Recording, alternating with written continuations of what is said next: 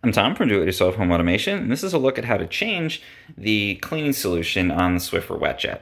So here's the Swiffer WetJet cleaning solution. I've used up this particular container, and all I'm going to do is first I'm going to press this uh, button on the back here, and it's going to pop this out for me, and then I can just take the cleaning cartridge straight out of the WetJet. Um, so this is uh, showing don't put your fingers in there. I think it has a little blade in there to puncture the cartridges. Um, so now I'm going to take a new cartridge and I'm going to just uh, insert it in here. And if it doesn't immediately slide and pop in, does for me, but sometimes I have trouble with that, um, the best thing to do is just to press the eject button again um, and then press this in a second time and then let go of the eject button and it'll hold it in place. So it really is pop it in and pop it out. Uh, it's very easy to make that change. Obviously Swiffer wants that because they'd like you to keep buying their cleaning solution to keep using the WetJet.